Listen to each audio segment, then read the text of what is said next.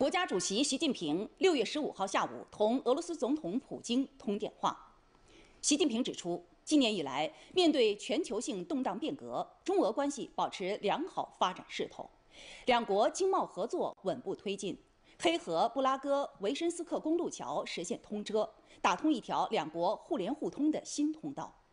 中方愿同俄方推动双边务实合作行稳致远。中方愿同俄方继续在涉及主权、安全等核心利益和重大关切问题上相互支持，密切两国战略协作，加强在联合国、金砖国家、上海合作组织等重要国际和地区组织的沟通协调，促进新兴市场国家和发展中国家团结合作，推动国际秩序和全球治理朝着更加公正合理的方向发展。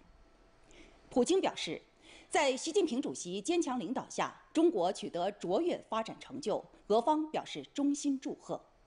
今年以来，俄中务实合作稳步发展，俄方支持中方提出的全球安全倡议，反对任何势力借口所谓新疆、香港、台湾等问题干涉中国内政，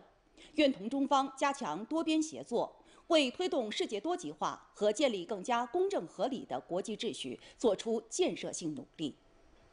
两国元首就乌克兰问题交换意见。习近平强调，中方始终从乌克兰问题的历史经纬和是非曲直出发，独立自主作出判断，积极促进世界和平，促进全球经济秩序稳定。各方应该以负责任方式推动乌克兰危机得到妥善解决。中方愿继续为此发挥应有作用。